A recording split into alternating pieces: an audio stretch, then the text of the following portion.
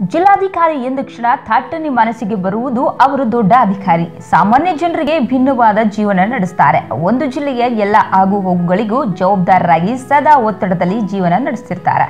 ಅವರು ಬಂದ್ರೆ ಸುತ್ತಮುತ್ತ ಪೊಲೀಸರು, ಗನ್ಮೆನ್ ಭದ್ರತೆ ನೀಡ್ತಾರೆ ಎಂಬೆಲ್ಲ ಕಲ್ಪನೆ ಸಾಮಾನ್ಯ ಜನರಲ್ಲಿ ಸಹಜ. ಆದರೆ ನಾವು ಇಂದು ತಿಳಿಸಲು ಹೊರಟಿರುವ ಅಧಿಕಾರಿ ಮೇಲಿನ ಎಲ್ಲ ಗುಣಗಳಿಗಿಂತ ತುಸು ಭಿನ್ನವಾಗಿದ್ದಾರೆ. ಒಂದು ದೊಡ್ಡ ಜಿಲ್ಲೆಯ ಜವಾಬ್ದಾರಿಯನ್ನ ಸಮರ್ಪಕವಾಗಿ ನಿಭಾಯಿಸುವುದರ ಜೊತೆಗೆ ತಮ್ಮ ಹವ್ಯಾಸದ ಮೂಲಕ ಇತರರಿಗೂ ಮಾದರಿಯಾಗಿದ್ದಾರೆ. ಅವರೇ ಮೈಸೂರು ಜಿಲ್ಲಾಧಿಕಾರಿ ಅಭಿರಾಮ್ಜಿ ಶಂಕರ್.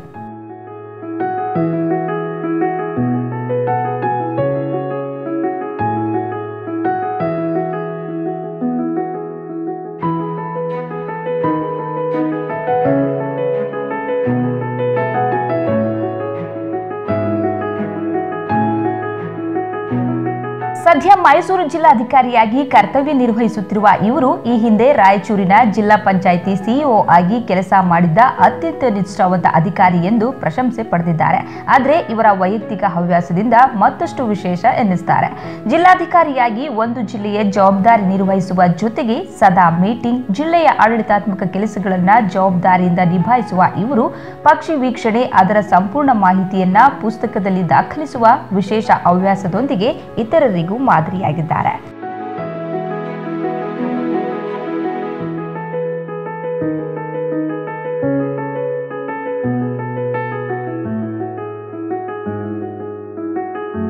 ಪಕ್ಷಿ ವೀಕ್ಷಣೆ ಎಂದರೆ ಕೇವಲ ಬಣ್ಣ ಬಣ್ಣ ಪಕ್ಷಿಗಳನ್ನು ನೋಡಿ ಕಣ್ತುಂಬಿಕೊಳ್ಳುವುದಷ್ಟೇ ಅಲ್ಲ, ಯಾವುದೇ ಹಕ್ಕಿಗಳನ್ನ ಇಂತಹದ್ದೇ ಎಂದು ಸುಲಭವಾಗಿ ಗುರುತಿಸುವ ಜ್ಞಾನ ಹೊಂದಿದ್ದಾರೆ. ಹಕ್ಕಿಗಳನ್ನು ಕೇವಲ ನೋಡುವುದಷ್ಟೇ ಅಲ್ಲ, ಇವರೊಬ್ಬ ಅದ್ಭುತ ಬರ್ಡ್ ಫೋಟೋಗ್ರಾಫರ್ ಕೂಡ ಹೌದು.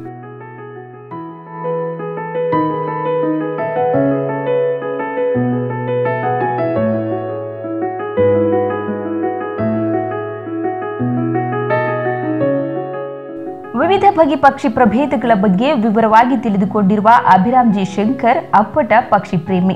ವಲಸೆ ಹಕ್ಕಿಗಳ ಹಲವಾರು ಗಣತಿಯಲ್ಲೂ ಭಾಗವಹಿಸಿದ್ದಾರೆ. ಕಾಲೇಜು ದಿನಗಳಲ್ಲೇ ಪಕ್ಷಿ ವೀಕ್ಷಣೆ ಹವ್ಯಾಸ ಬೆಳೆಸಿಕೊಂಡಿದ್ದ ಇವರು, ನಂತರ ಖ್ಯಾತ ಪಕ್ಷಿ ಪರಿಣಿತರ ಜೊತೆ ಪಕ್ಷಿ ವೀಕ್ಷಣೆಯಲ್ಲಿ ಭಾಗಿಯಾಗಿ ಹಲವಾರು ಅಪರೂಪದ ಪಕ್ಷಿಗಳ ಚಿತ್ರಗಳನ್ನ ಸೆರೆ ಹಿಡಿದಿದ್ದಾರೆ. ಹದಿಮೂರು ವರ್ಷದಿಂದಲೂ ಯಾವುದೇ ಒತ್ತಡಕ್ಕೂ ಮಣಿಯದ ಹವ್ಯಾಸ, ಎರಡ್ ಸಾವಿರದ ಏಳರಿಂದಲೂ ಪಕ್ಷಿ ಪ್ರೇಮಿಯಾಗಿರುವ ಇವರು, ಎರಡ್ ಸಾವಿರದ ಎರಡರಿಂದ ಪಕ್ಷಿಗಳ ಫೋಟೋಗ್ರಫಿಗೆ ಆದ್ಯತೆ ನೀಡಿದ್ದಾರೆ.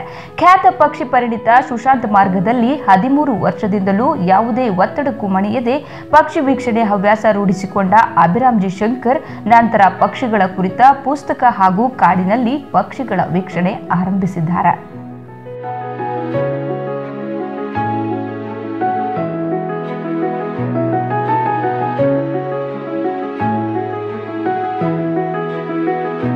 ಇದಲ್ಲದೆ ಅವುಗಳ ಫೋಟೋ ಸೆರೆ ಜೊತೆಗೆ ತನ್ನೊಳಗಿನ ಅದ್ಭುತ ಛಾಯಾಚಿತ್ರಕಾರನನ್ನ ಹೊರ ಜಗತ್ತಿಗೆ ಪರಿಚಯಿಸಿಕೊಂಡಿದ್ದಾರೆ. ಮೈಸೂರಿನ ತಮ್ಮ ನಿವಾಸದ ಸುತ್ತಮುತ್ತ ಸಾಕಷ್ಟು ವಿಶೇಷ ಪ್ರಭೇದ ಹಕ್ಕಿಗಳನ್ನ ಕಂಡಿದ್ದಾರೆ. ತದನಂತರ ಅವುಗಳ ಫೋಟೋ ಸೆರೆ ಜೊತೆಗೆ ತನ್ನೊಳಗಿನ ಅದ್ಭುತ ಛಾಯಾಚಿತ್ರಕಾರನನ್ನ ಹೊರ ಜಗತ್ತಿಗೆ ಪರಿಚಯಿಸಿಕೊಂಡಿದ್ದಾರೆ. ಮೈಸೂರಿನ ತಮ್ಮ ನಿವಾಸದ ಸುತ್ತಮುತ್ತ ಸಾಕಷ್ಟು ವಿಶೇಷ ಪ್ರಭೇದ ಹಕ್ಕಿಗಳನ್ನ ಕಂಡಿದ್ದಾರೆ. ಪಕ್ಷಿ ವೀಕ್ಷಣೆ ಕೆಲಸದ ಒತ್ತಡವನ್ನ ಕಡಿಮೆ ಮಾಡುತ್ತೆ. ಮೈಸೂರಿನಲ್ಲಿ ಪಕ್ಷಿಗಳ ಇರುವಿಕೆಗೆ ವಿಶೇಷವಾದ ಪರಿಸರ ಇದೆ. ಅದನ್ನು ಉಳಿಸಿಕೊಂಡು ಪಕ್ಷಿಗಳಿಗೆ ಪೂರಕವಾದ ಮತ್ತಷ್ಟು ವಾತಾವರಣ ಕಲ್ಪಿಸಿಕೊಳ್ಳಬೇಕು ಎನ್ನುವುದು ಅವರ ಅಭಿಪ್ರಾಯ.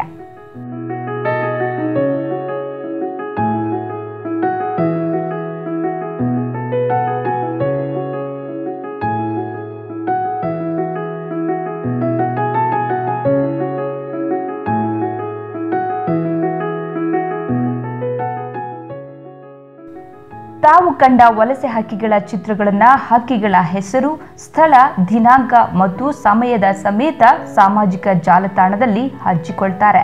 ಇವರ ಕಾರ್ಯವೈಖರಿಗೆ ಸಾಕಷ್ಟು ಪಕ್ಷಿ ಪ್ರೇಮಿಗಳು ಮನಸೋತಿದ್ದಾರೆ. ಇದು ಅವರ ಕ್ರಿಯಾಶೀಲತೆಗೆ ಸಾಕ್ಷಿಯಾಗಿದೆ. ಇಬರ್ಡ್ ಇಂಡಿಯಾ ಎಂಬ ವೆಬ್ಸೈಟ್ ಪಕ್ಷಿಗಳ ಬಗ್ಗೆ ಮಾಹಿತಿ ಸಂಗ್ರಹಿಸುತ್ತಿದೆ. ಈ ವೆಬ್ಸೈಟ್ನಲ್ಲೂ ಕೂಡ ತಾವು ಕಂಡ ಪಕ್ಷಿಗಳ ಫೋಟೋಗಳನ್ನು ಅಪ್ಲೋಡ್ ಮಾಡಿದ್ದಾರೆ.